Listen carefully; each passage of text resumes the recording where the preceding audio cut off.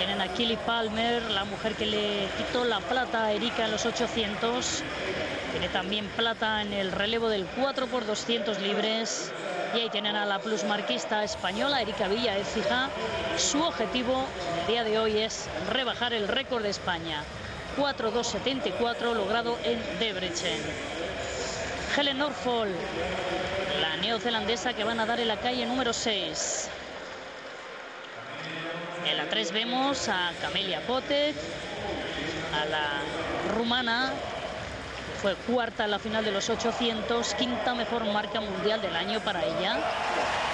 Joanne Jackson, de Gran Bretaña, fue sexta también en esa final de los 800, subcampeona del mundo en el relevo 4 por 200. Roten Barrat, esta es la gran rival, la gran referencia de Erika, la única mujer que ha bajado de los cuatro minutos esta temporada, la subcampeona en Shanghái.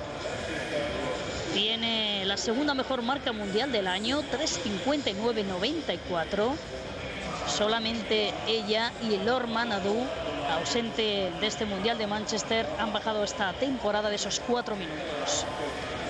Estas son las ocho finalistas. Erika van a dar en la parte superior de la imagen.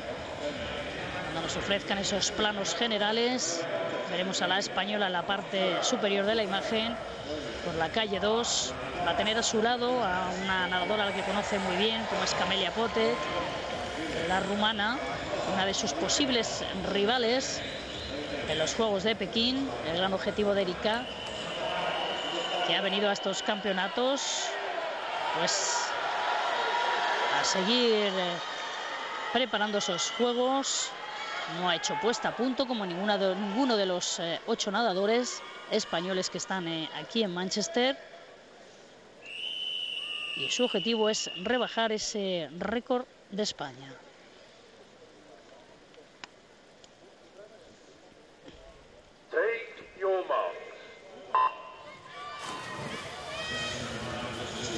Erika la calle 2, Pote la 3, Barrat la gran favorita la calle 4 y la británica Jackson la 5. Habrá que estar pendiente también de Killy Palmer, la australiana, la subcampeona de los 800. está nadando en la calle número 7. De hecho, ya está ahí en primera posición con el gorro de color eh, amarillo. Killy Palmer, vamos a ir siguiendo los pasos de Erika para ver cómo marcha, qué ritmo marcha la española.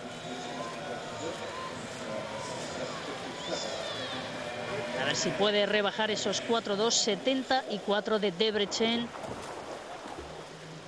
del último europeo en piscina corta.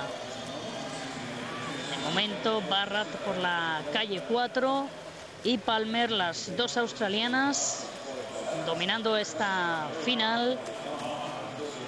El paso por los 100, eh, Erika séptima, 59-13.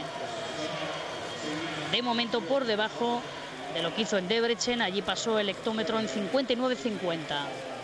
Y vemos a Erika nadando al lado de Camelia Potek, muy pegada a la corchera, la española. Las dos australianas y la británica eh, Jackson dominando esta primera parte de la final por las calles centrales, Palmer, Barrat y Jackson. 12 centésimas de segundo las tres nadadoras.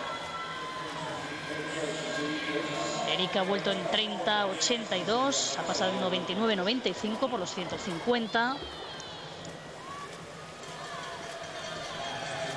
Sigue por debajo de ese récord de España la española. Vamos a ver ahora el paso por el ecuador de la prueba por esos 200 metros. Lo hacen las tres primeras, 1.58-18 para Palmer. Erika pasa séptima, 2.00-92 prácticamente en el mismo tiempo de paso de Debrecen. Allí pasó en 2.0094, es decir, dos centésimas mejor.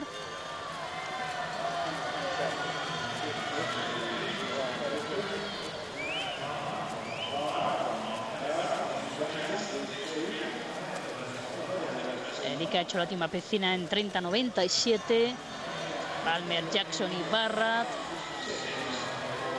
Sigue séptima, Erika 2.31.61. prácticamente a ritmo de récord de España. Está la española.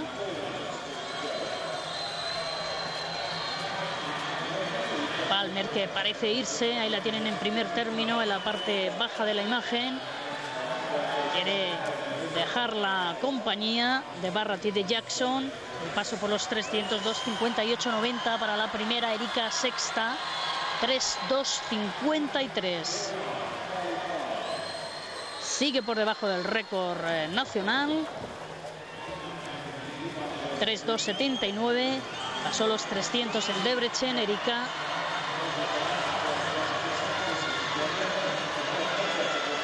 Parece que Killy Palmer ya se ha ido de Jackson y de Barra. Es muy fuerte, muy poderosa en los virajes. Killy Palmer lo sabe perfectamente Erika. La tuvo muy cerca en esa final de 800 y la australiana se la iba a la salida de los virajes. Ahí tienen últimos metros, la lucha por el bronce está así, el de la plata está siendo tremenda con esas tres mujeres, Pote, Barrett y Jackson. Victoria para Palme, 3.59-23, Pote segundo, Jackson tercera, Erika ha terminado quinta, 4-2-89, no ha podido rebajar el récord de España, ha ido todo el rato rozando ese récord y no lo ha podido lograr. 4-2-89 se ha quedado muy cerca de su mejor marca de siempre, Erika. Récord de los campeonatos el conseguido por la ganadora Kili Palmer, la nueva campeona del mundo.